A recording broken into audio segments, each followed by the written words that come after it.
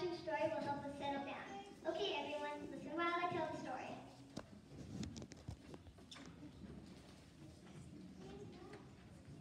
It the night before Christmas, when all through the house, not a creature was stirring, not even a mouse.